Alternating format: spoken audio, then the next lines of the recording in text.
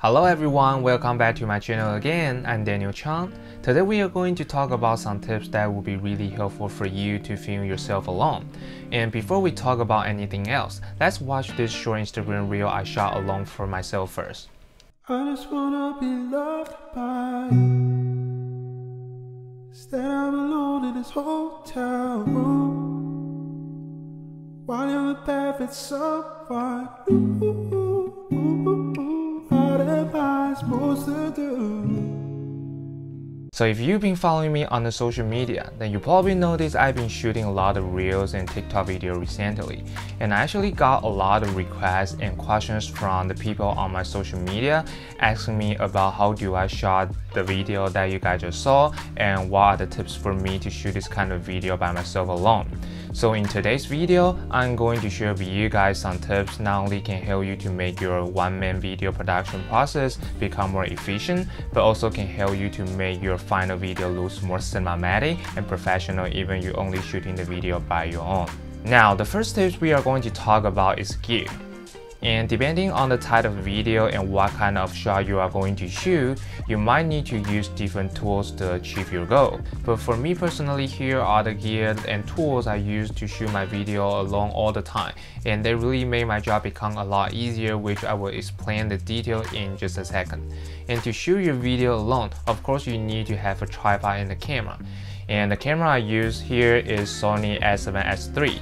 The main reason why I choose to use Sony camera or this camera particularly, not only because it can shoot 422 10-bit S-Log3 4K footage, but also because the autofocus system of Sony camera is really fast and accurate. So if you only shooting by yourself and the subject is moving while you are shooting, it's most likely you will lose the focus when there is no one that can help you to pull the focus for your camera.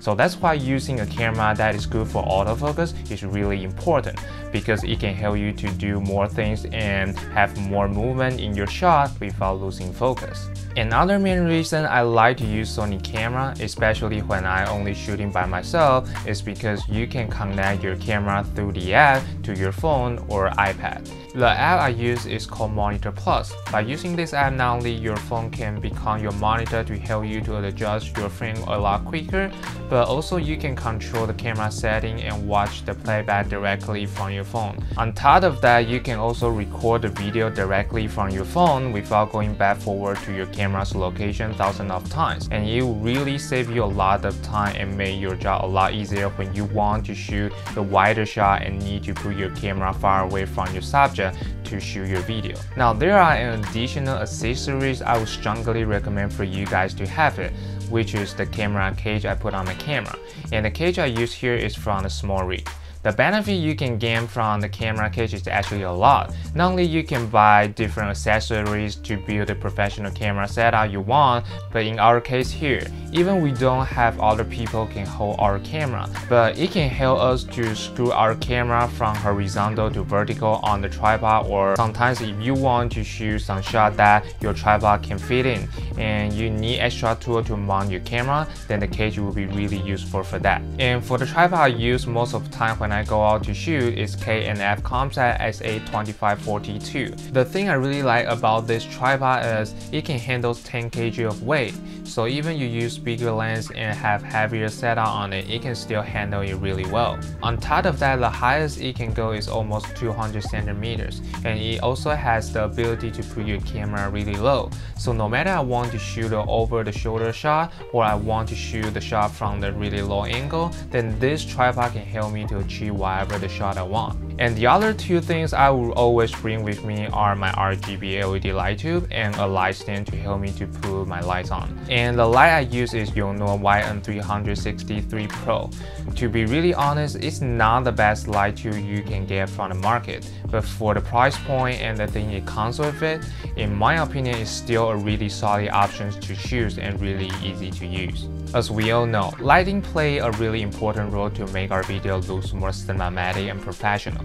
Whether we use it as a key light for our subject's face or to create a color contrast in our scene, having a light with you, especially the RGB LED light, can definitely make your production value turn into the next level. And the last two things I will always bring with me are the ND filter and diffusion filter.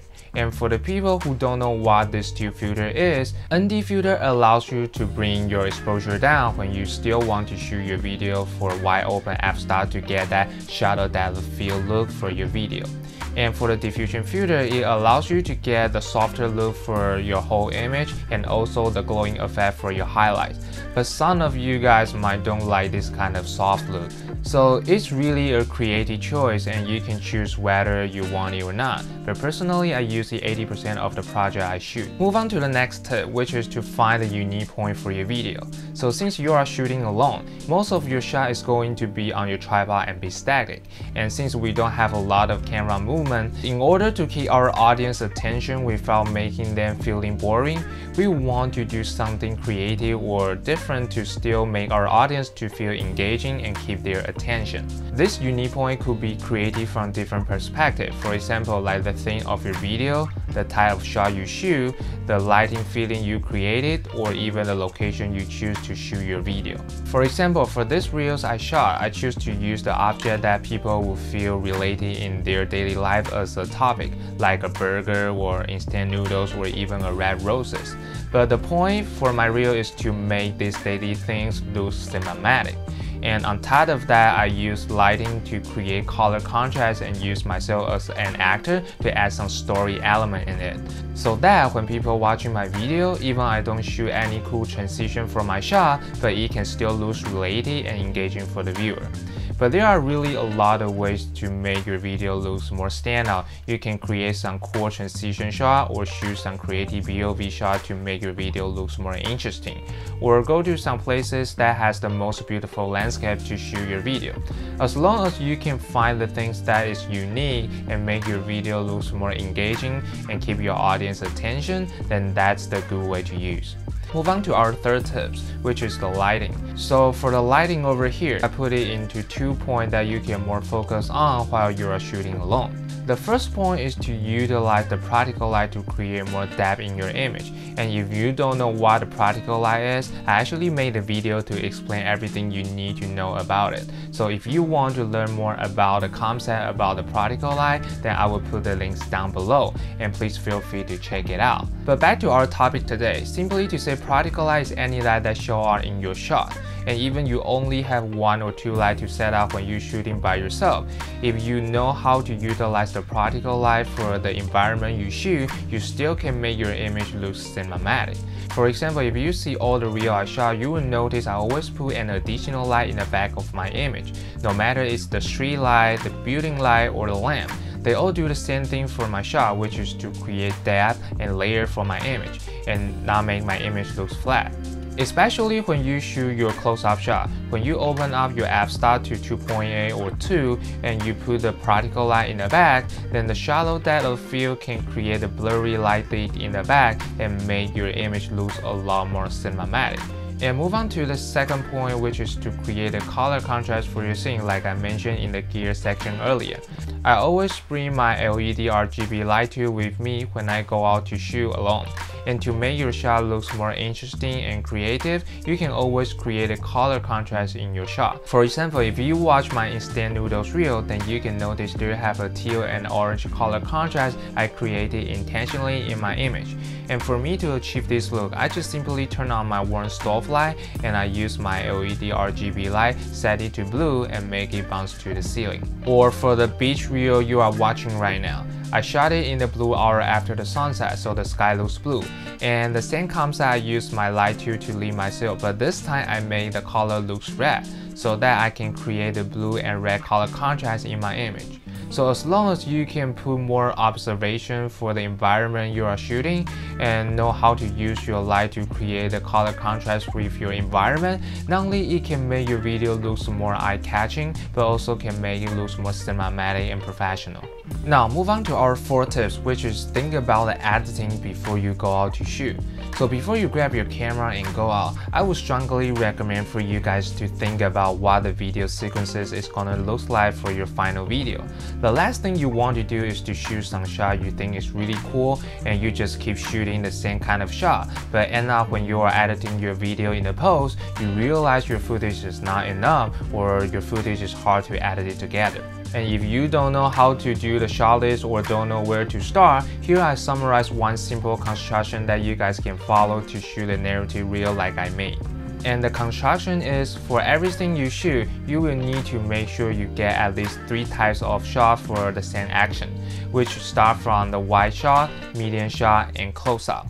Shot help you to establish the tone and show the environment for your audience. The medium shot show the audience closer what our character is actually doing, and the close-up shot help us to show the emotion and detail for our character's expression or the object that you want your audience to be more focused on. So take this reel I shot as an example. We start from the wide shot I walk into the scene and start using my cell phone in the middle of the stair. Then we cut to the medium shot to show our audience what I'm actually doing in case they can see my cell phone from the wide shot. Then we cut to the close-up shot of me typing texting on my cell phone, and then close-up shot for my face to show my expression. Then last, we cut back to our wide shot again to end this video. So basically for this video, all the shots you need to shoot is one wide shot, one medium shot, and two close-up shots and you can tell the complete story for your scene. And I actually apply this concept not only for all the reels I shot, but also for my narrative type of music video or commercial project. So if you don't know how to make a shot list for your video or don't know what shot you should start to shoot first, then I hope this concept can give you more clear idea how you're gonna shoot your video. Finally, the last tip we are going to talk about is adding camera movement in the post-production. So like we mentioned earlier, since we shoot most of our shot on the tripod, so most of our footage will look static without any movement.